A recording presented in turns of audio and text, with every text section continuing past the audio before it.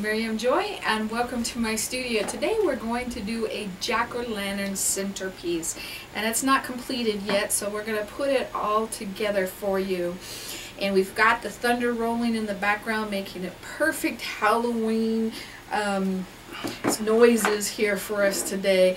I took a wooden mask from Michaels and it was a dollar and the funnest part of these is getting these stickers off. If you ever have to get these stickers off, warm them up with your heat gun or embossing tool and then it melts the glue and then you can lift them off a lot easier so that's kind of a good thing to know and you could do the back as well to kind of you could even just kind of do something simple on the back but to give it the Halloween um, feel on the back so it's not just one-sided.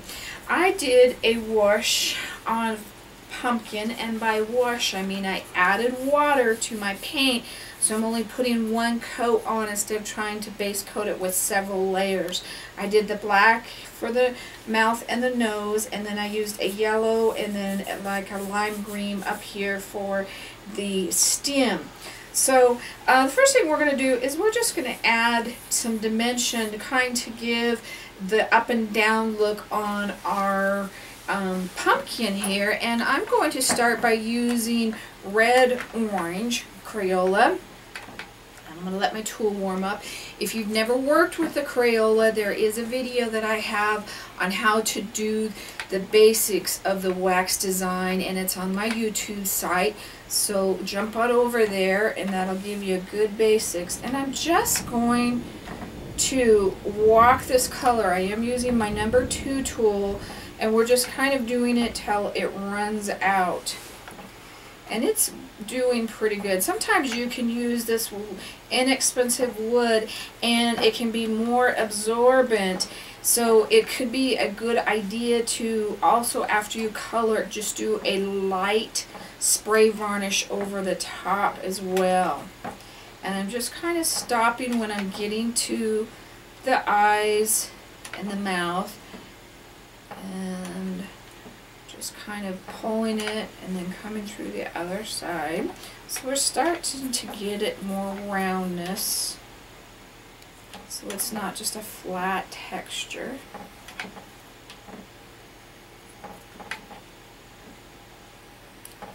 Remember, the slower you pull these, the longer your strokes are going to get.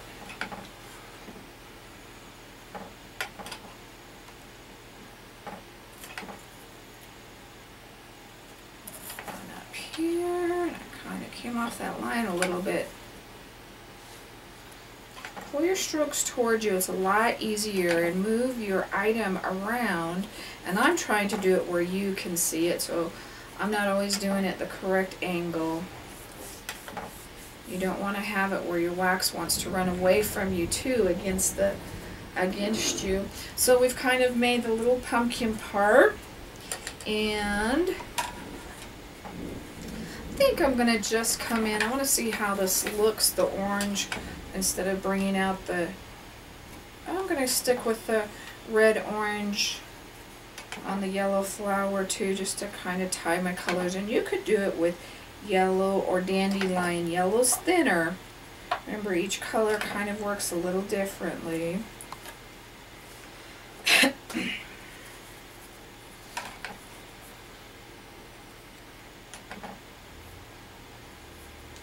And then I'm going to add some little dots to the center of our little flower here.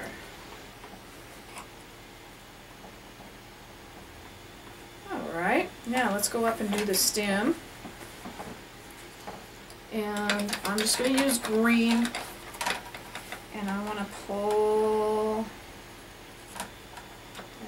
up. And I'm just going to kind of make it kind of viney looking. Just kind of wiggle it a little bit. I'm just going to walk it a little bit. And I think I'm going to drop down a tool size here. And I'm sorry about setting the project down on you. It's hard to hold it and use both hands.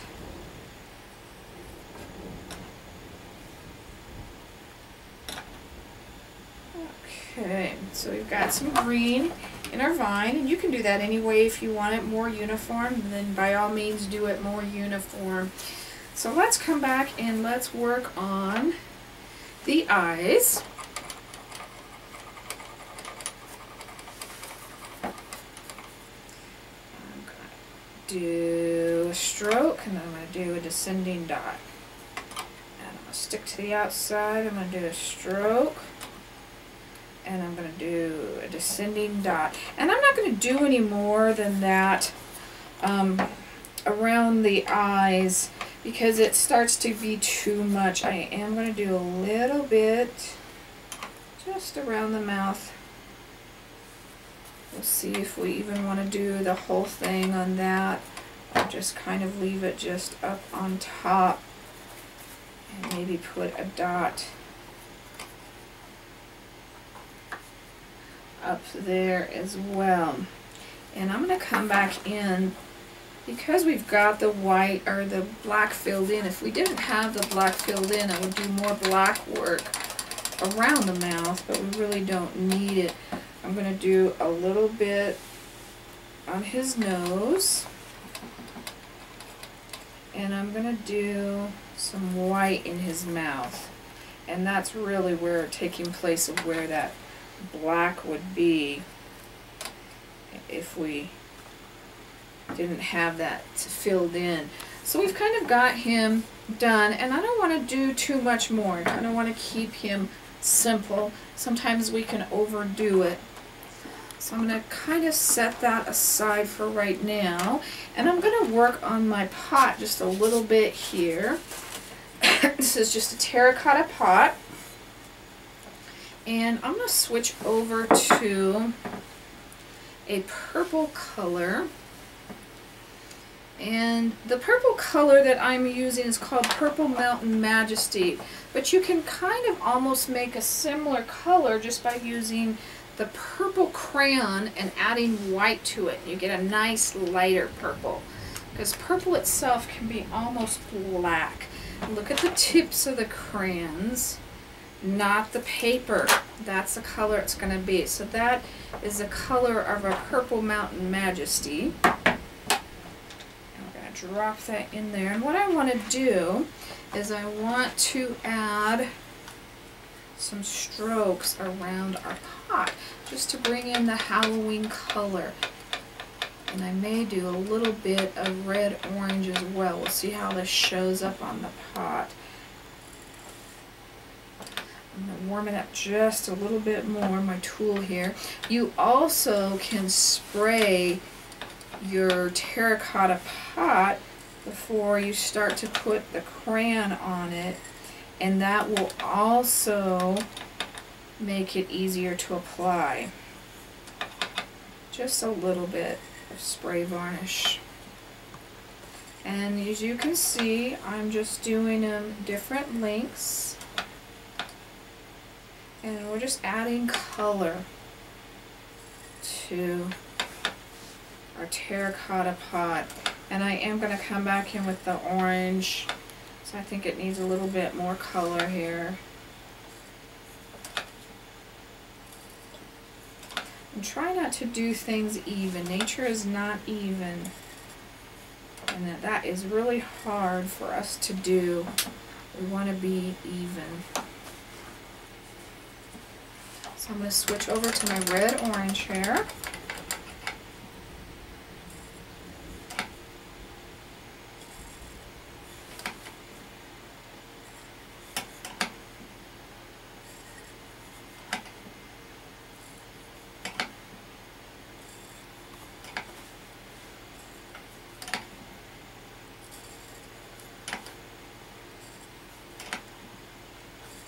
And you could even come back in with black here. Take a look at it and see if you think it needs the black.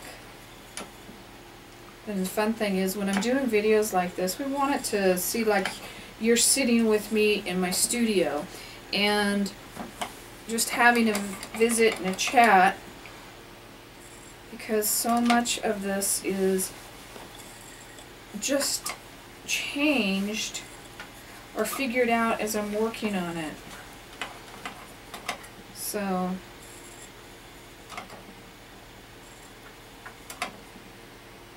sometimes it's nice for you to see the process, especially when I do things, bloopers um, that didn't go quite so well. But that gives you the chance to figure out how I fixed it. So I really like to leave things like that in. So we did add the black to that as well. And that just really decorates that pot.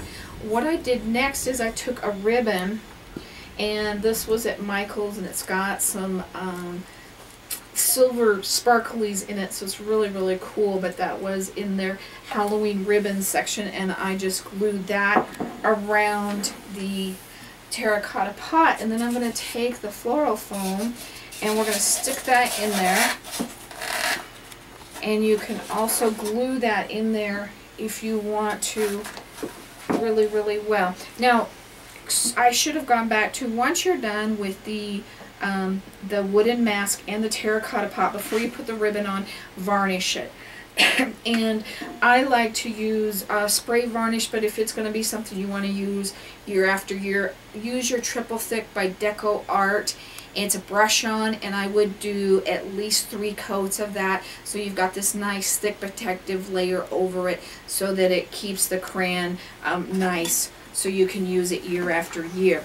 All right, so we've done that, and then I'm going to take this and I'm going to stick it in the middle of my floral. Try to get it straight up and down.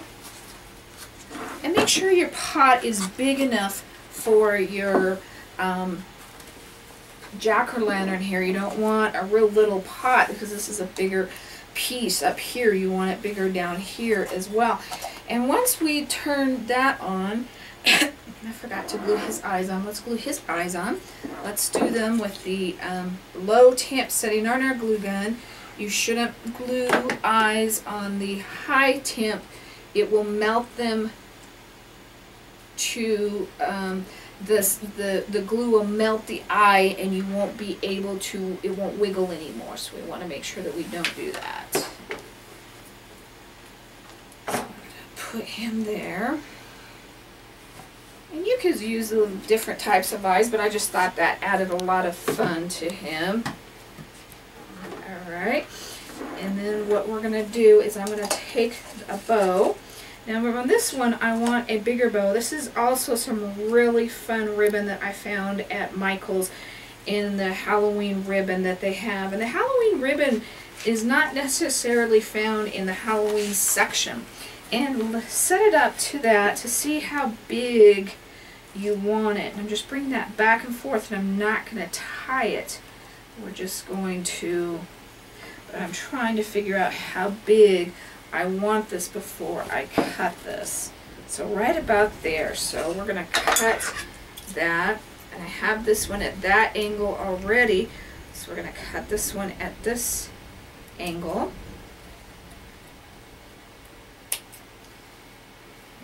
Trim that So let's get him all nice and laid down in the everything go in the right direction. One of the really nice things I like to tie ribbons with is chenille stems because they they show they already have color in them instead of the wire. Now shape him up. And another thing I do with my wire ribbon is I pull this up and trim it so that that doesn't show because it will show the wire. See how that looks already? Kind of wiggle on you. You want to, don't want it to see. You don't want to take too much because you still want your shape of your ribbon, but you want that. So we're going to put him on. A little jack-o'-lantern there. And I'm just twisting him in the back.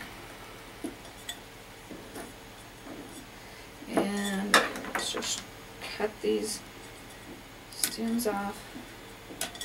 Done with that. Probably could use half of one. That's okay. That nice and tight up there. You could also glue it on if you wanted to.